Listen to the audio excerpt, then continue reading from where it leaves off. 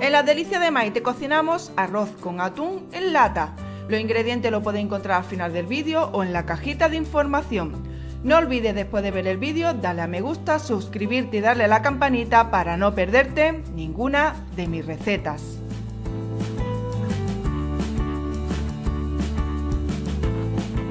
Empezamos como siempre pelando nuestras verduras. El pimiento, como habéis visto, lo único que tenemos que hacer es empujar hacia adentro y sacamos todas las semillas. Pelamos los ajos y pelamos nuestro tomate.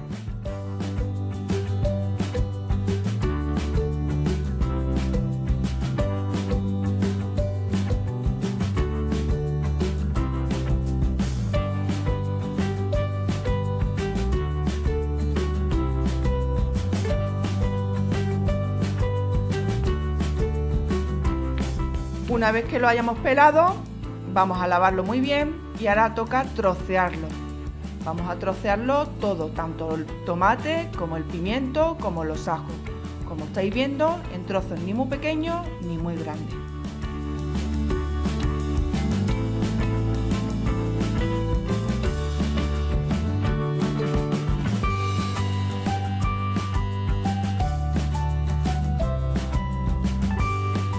Los pimientos asados también los vamos a trocear en trocitos pequeños, en trocitos de bocado.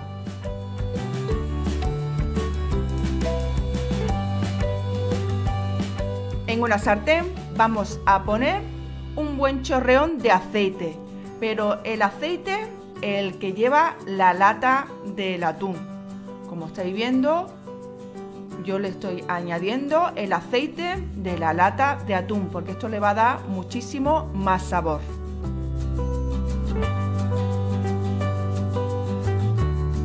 En ese aceite que hemos añadido del atún en lata, vamos a añadir la verdura que hemos troceado y vamos a hacerlas.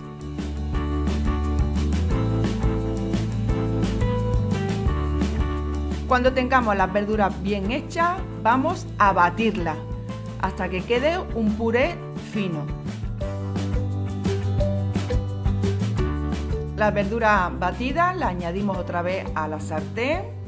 Añadimos el arroz, el laurel, los pimientos asados y troceados,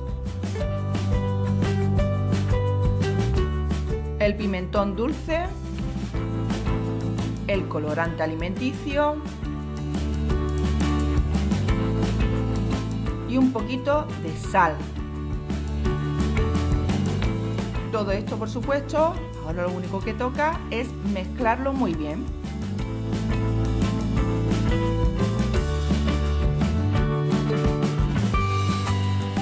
Cuando ya lo tengamos bien mezclado, vamos a añadir el caldo. Para los que no lo sepan, sería una parte de arroz por dos de caldo, es decir, una taza de arroz, dos de caldo.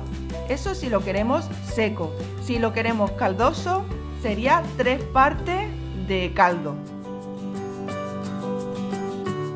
Cuando ya tengamos el arroz casi hecho, añadimos el atún.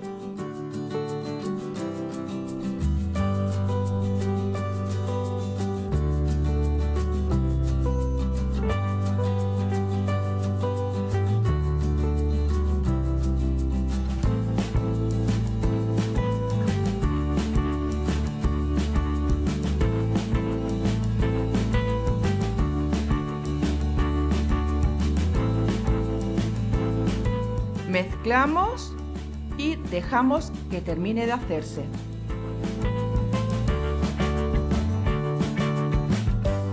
Y aquí ya lo tenemos listo. Como veis, en un Plis Plus hemos hecho un riquísimo plato.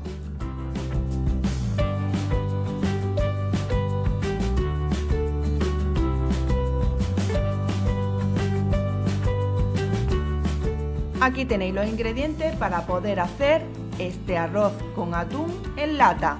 Si te ha gustado mi receta, regálame un like. Me encantaría leer tu comentario y no olvides suscribirte y darle a la campanita para no perderte ninguna de mis recetas. No te pierdas nada de las delicias de Maite. sígueme en todas las redes sociales. Los enlaces los tienes en la cajita de información.